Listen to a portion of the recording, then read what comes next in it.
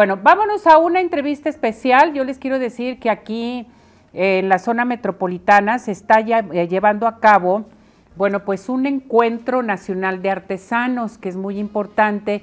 Y hoy está con nosotros Edgar Ledesma, que ustedes lo conocen también, que está ahí en este encuentro. Es asesor vocacional prehispánico. Un aplauso para él. ¿Cómo estás, Edgar? Muy bien, gracias. Hola, ¿qué tal?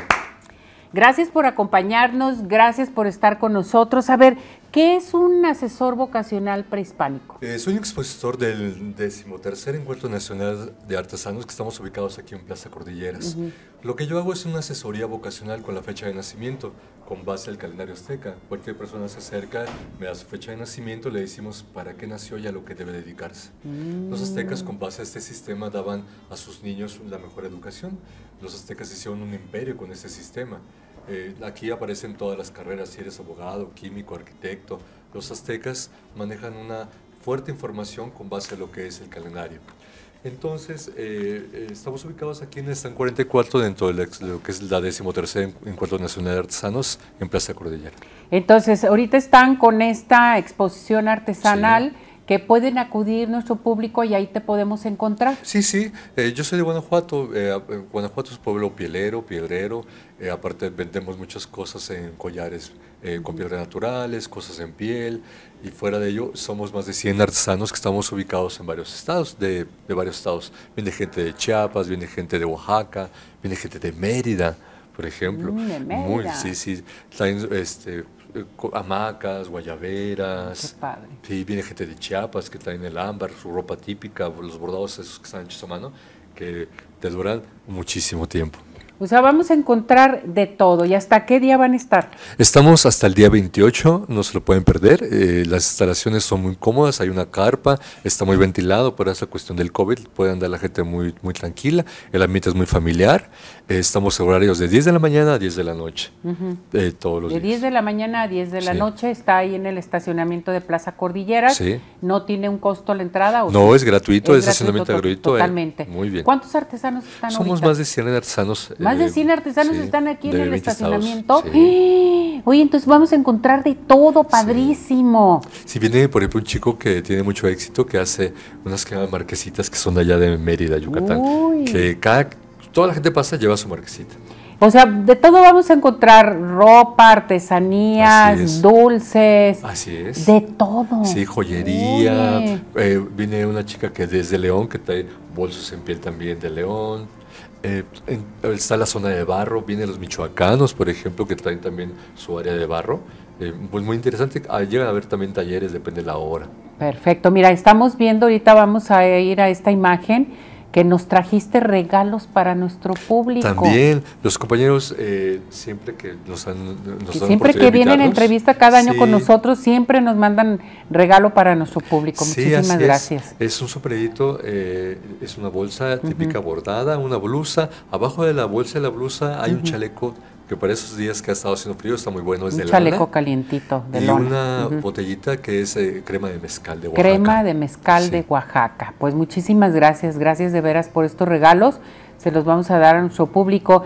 Entonces, ¿estamos hasta el día qué? ¿28? Día 28. El día 28. Así es, día 28. Todos los días abiertos, de 10 de la mañana a 10 de la noche. Estacionamiento gratuito, la entrada es gratuita, no se lo pueden perder. Estaba viendo ahorita las imágenes, señor productor, me las puede volver a poner estaba viendo en las imágenes que hay baile también, a ver, ah, sí. hay danzantes. El día de ayer fue la Guelaguetza, eh, la presentación de la Guelaguetza de, de la Guelaguetza, uy, qué padre. Ayer fue a las 6 de la tarde, y pues un ambiente muy bonito, este, un espectáculo que pues pocas veces se llega a ver fuera de Oaxaca.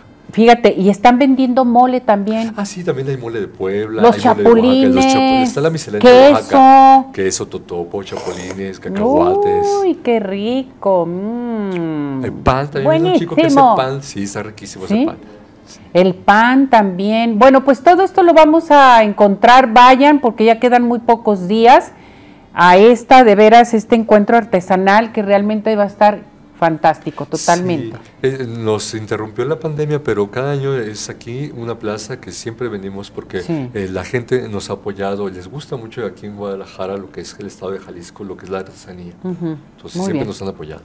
Pues muchísimas gracias, Edgar. ¿Deseas agregar algo más? Nada más, gracias a toda la gente que durante todo este tiempo nos ha estado apoyando, visitando. Gracias por su apoyo y nos esperamos, eh, esperamos vernos ahí en la exposición. Y que te visiten, porque ah, ¿qué les vas a hacer? ¿Qué, Platícales todo lo que haces en tu puesto. Eh, es un, tengo el calendario azteca en una pared y abajo también en la mesa tengo un calendario azteca. Yo mientras les voy explicando su signo, les dibujo su signo para la redundancia grabado en un morral en piel. Y al final hago un ritual, un tipo de, bautizo con el mm. caracol y todo. Es, lleva todo un tiempo hacerlo. Es la, la experiencia es muy bonita al llegar uno y al llevar su signo, eh, uno acepta que uno es así. En el fondo la gente sufre por la ignorancia de no saber para qué es bueno. Cuando uno encuentra lo que realmente es bueno, ya seas abogado, químico, locutor, ahí le explicamos destellas, brillas, y es muy fácil pues simplemente sobrepasar todos los oleajes que hay en la vida. Pero como información es eh, algo que todos los mexicanos debemos de saber eh, de, nuestra identidad como mexicanos, nuestro signo prehispánico, fuera del occidental, porque por ejemplo, occidental de Acuario, Virgo, Leo, son signos muy aparte. Aquí son cosas serias. Aquí te habla de tu vocación y tu perfil psicológico. ¿Cómo vocación y perfil. ¿Cómo eres? ¿Cómo eres? Psicológico, todo. Sí, sí, sí, Perfectamente. ¿Y para qué sirves? O sea, ¿qué es lo que tienes que hacer con tu vida, no? Esto nos ayuda porque hay mucha gente que, y sobre todo me ubico a los jóvenes que dicen, no han decidido qué carrera estudiar, eh, cuáles son sus habilidades en un momento dado, ¿no? y es muy común. Eh, yo he dado signos a gente también muy joven o gente que está en la universidad y hace su, su cambio de carrera. Me ha tocado darle sí, porque tú le das la base de cómo, por qué no. No nada más le dices, este es tu signo y estás bien en tu carrera, no. una persona tiene un perfil específico para una carrera. Nada más que por idea, por moda, por economía, la gente estudia cierto tipo de carreras que no se le dan pero ya la va pasando. Si trabaja en una carrera, por ejemplo, de arquitectura y la va pasando, no es buen arquitecto, no es tan, tan malo, pero no está contento, llega angustiado a su casa, no está ahí.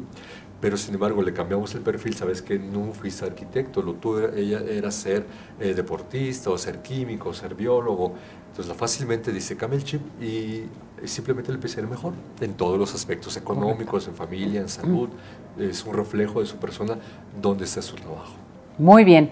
Pues muchísimas gracias. Entonces, ¿te encontramos en dónde? Eh, Está cordialmente invitado nuestro público. Estamos en la Plaza Cordilleras, en Manuel J. Cloutier y Avenida Paz. No hay pierde, en Plaza Cordilleras, ahí en el eh, estacionamiento. exactamente. Estamos de 10 de la mañana a 10 de la noche, todos los días hasta el día lunes 28, que sería de hoy en noche. Exactamente. Gracias, Edgar. Que te vaya muy bien. Y gracias por los regalos. Saludos a todos tus compañeros. Gusto. ¿Sale? gracias. Un aplauso.